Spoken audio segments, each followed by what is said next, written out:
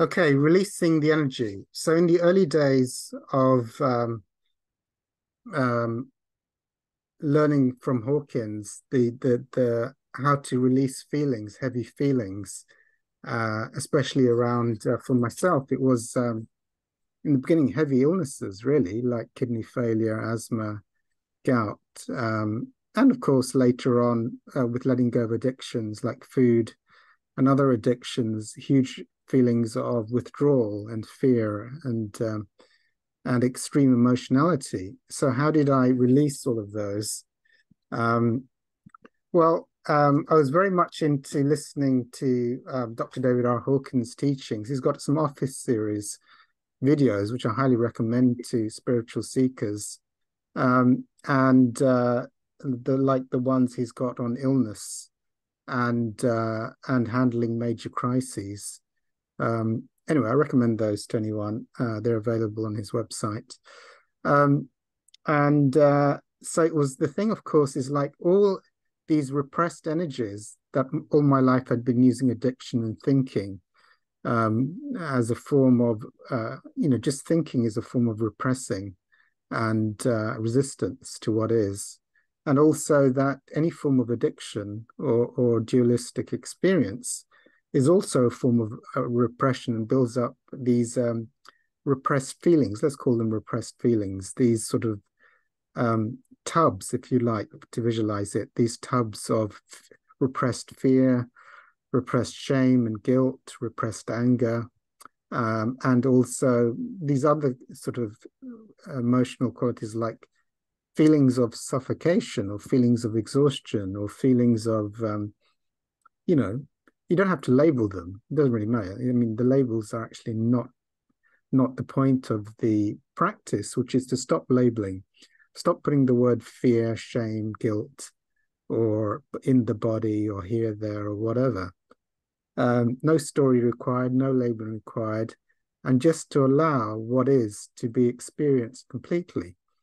So, um, so that was the the thing, and uh, in the early days, uh, using that practice. There were some other practices like cancellations of beliefs and doing the Course in Miracles, but I won't go into those uh, in this video.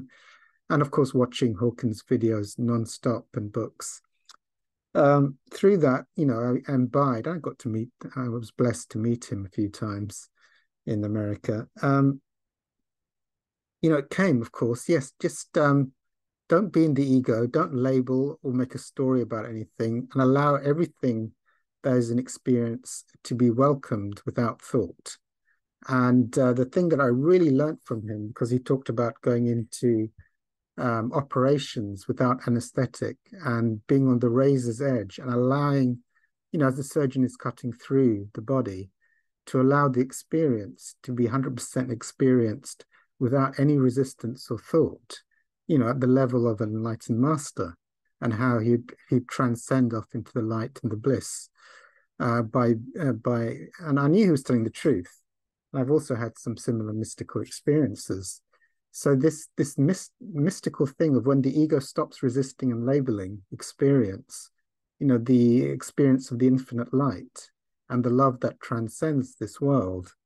So uh, I knew that was true, uh, but also it was kind of obvious that I had a lifetime of addiction and repression and thinking which was very heavily ingrained and tying me to these very dense levels of consciousness. So there was this, you know, I didn't, uh, you know, I didn't like the story of having kidney failure, being on a dialysis machine, uh, finding that I couldn't breathe because I felt like I was asthmatic, or having horrific pain in the feet with gout attacks, inflammatory gout attacks in the feet. So didn't like all of that, those labels, and the story.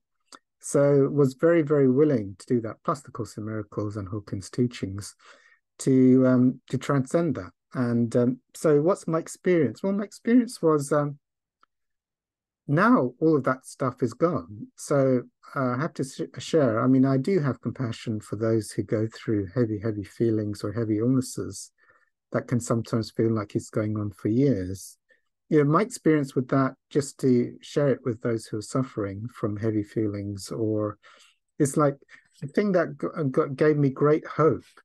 Um, and uh, you know, one of the labels I think from the levels of consciousness is like oh, this feeling will never end. So I might as well just have some donuts and put the TV on or start thinking. Um, you know, what's the point? Well, Hawkins um, revealed it to be like stacks. You know, if you don't think and you just be with those feelings without thought and you don't try and escape the feelings, but you allow them to come up with full intensity without trying to pick up the phone, trying to think, or trying to eat a bag of donuts or whatever addiction it is, then you're releasing. This gave me great hope when I heard him. It's like you might have 100 units of guilt or of suffocation or of pins and needles or whatever it is. And maybe it's 100 hours or 500 hours. If you just allow it to be and experience it without resistance, it comes to an end and these illnesses, these feelings, they eventually evaporate off, never to return. And and he, he he says it, they come up in waves, and you just allow them without resisting, without thinking and using any addiction. And eventually, over the years or over the weeks, they come less and less often, less and less intense, and then they vanish, never to reappear. And he said his 23 illnesses left him in about three to five years. And I found my three illnesses left me in three to five years, just like he had reported with his. Um, so, uh, and I've shared it in other videos, you know, I mean, in, incredible miracles that have happened with them. One of them being, you know, just by canceling beliefs in medication, the side effects, you know, I went down from 13 medication to one and the doctors were very impressed with the, the miracles that were happening through letting go of beliefs and feeling out the repressed feelings. So, um, so talk about my practical experience of letting these emotions go and to talk about guilt. Well, yes, for me, you could say that fear, shame, and and all of these things is the guilt. I'll talk about this in another video soon. Uh, the guilt of separation from divinity, from the infinite light, uh, and then to experience the darkness of being in separation and duality.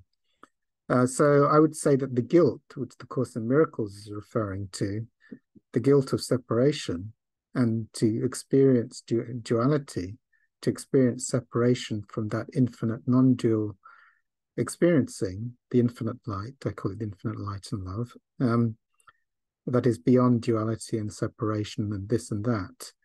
Um, is you know uh, we talk about it is you know the various aspects of the guilt or the fear if you like of shame guilt and fear of being in separation and creating the separation from the non-dual field the infinite non-dual field so um so the experience is um okay on a practical level i mean it, it's it's like actually letting go of pain is a slightly different learning curve and experience of letting go of fear, of letting go of suffocation, of letting go of a gout attack. There's all, I, I would share my different stories. You know, if someone said, um, if someone said, look, I've got a huge wodge of fear or panic, well, panic, you know, panic attacks, I had a lot of panic attacks letting go of the addictions. Um, ex- extreme emotionality coming up because I can't use those donuts or whatever it is that I wanted to use to escape the feelings.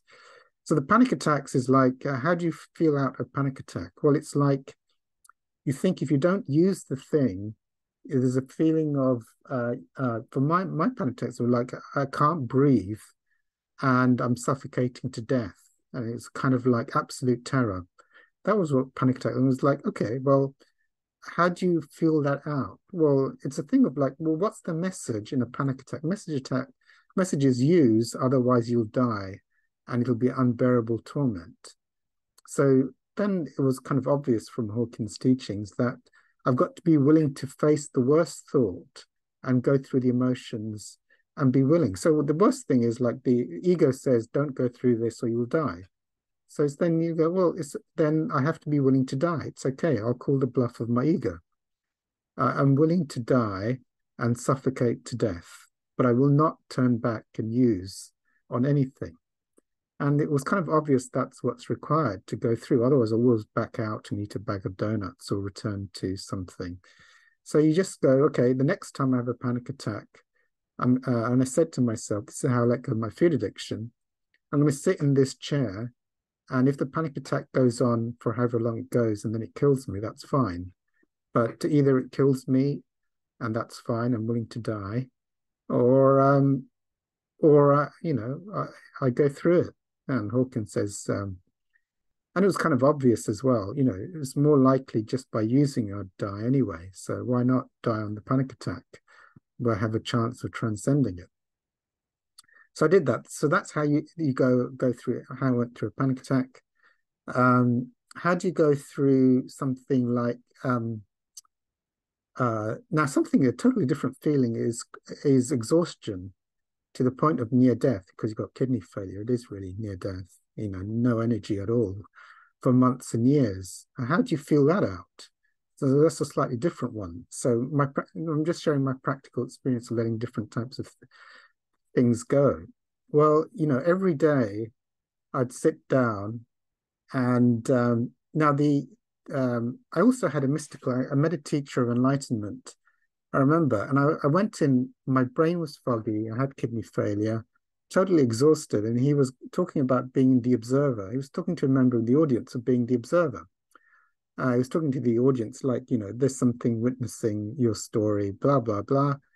And I was in the audience, and at the end of the lecture, or the end of the the, the satsang, uh, my kidney failure symptoms had disappeared. There was like infinite presence energy, even though for it felt like for years I'd been like a sick person in this sort of belief of kidney failure and fog and low energy.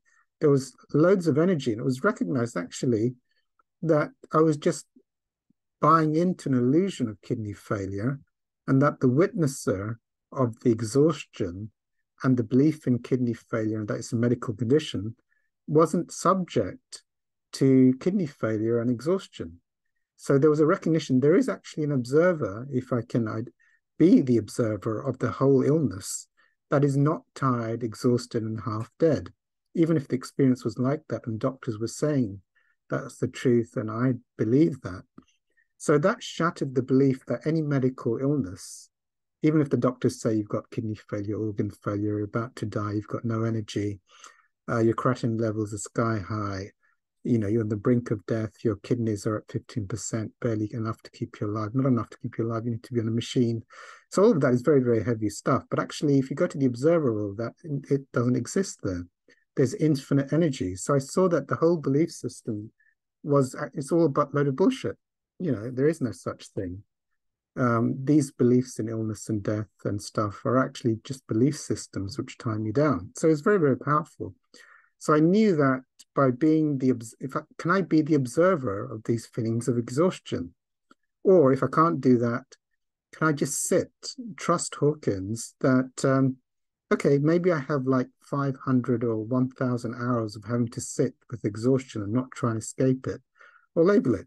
So every day I'll just wake up and I'd just sit down in my chair, straight up, and just allow, not try and resist the exhaustion, but just be with it and try and feel it out, you know, not resist it and just say, well, you know, if I can do half an hour, an hour every day, you know, and to uh, either I drop dead of exhaustion or it passes.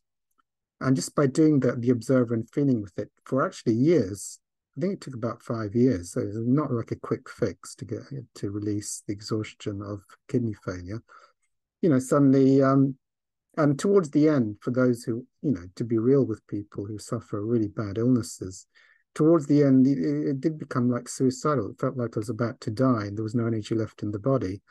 I wouldn't be able to go much longer. But here's the, the experience. It was like sometimes there's these tests, like you need to keep going on with your spiritual work, even if you feel you're going to die and it's going to kill you, and still have faith. And it was very shortly after that black period that the, I was offered a kidney transplant. It's like God said, like you got still got to go through the worst dark patches and have faith. And then the miracle happened. There was a kidney transplant, and all that's gone now. So you know, to have faith. I mean, my teacher is David Hawkins. He's the only teacher that I've met that I recommend. I don't endorse any others. Um, and um, you know, um, have faith in either David Hawkins, or you can have faith in what I've told you in this video um, to keep going. And sometimes you're tested by the illness and by illusions and the collective illusions of society and the illusions that you're programmed with by others or people who you should think you should trust that these illnesses can't go or these things you can't have miraculous re- resolution to these things Uh, so uh, pain is another one. Very quickly, um, pain is um, uh, pain. I've had quite a few. There was one I've shared it many times. I'll very quickly do the try and do it in a minute. So when you notice, like I remember, um, you know, I was a mad food addict and I'd had these bananas and doctors said avoid bananas and I'd eaten a bag of bananas and said come into the hospital to A&E and have emergency treatment for a heart attack and they had this huge needle that was about to go all the way up my arm to my heart horrifically looking and I thought oh my god that is the most fat long needle I've ever seen in my life and they were going to plunge it up my arm. And I thought well you just don't resist. I mean if Hawkins can go through an operation without resisting I cannot resist as that huge needle goes up my veins and towards my heart and just feel it 100% without resistance. And I remember they were plunging this huge needle into my arm towards my heart. And I said, I'm not going to resist. I'm not going to think. I'm going to allow the pain, even if it's horrific. I won't resist it. And I, I, I started to lose consciousness as I was going off into bliss. And then suddenly all these nurses and doctors started shaking me vigorously. They thought I was having a diabetic attack and giving me these uh, sugar milkshakes. But I was really like, you know, disappointed because I wanted to go off into the bliss. So it's absolutely like Hawkins said. So it's like if you're just about to be run over by a bus or, or an axe murderer is about to chop your head off, rather than resist or think, you, you welcome the pain 100% as it goes through you. And you can transcend, in my experience, to, to the light. Sorry if that was a bit too um, this video is a bit too graphic. Um, yeah, I'll leave that there and stop the video.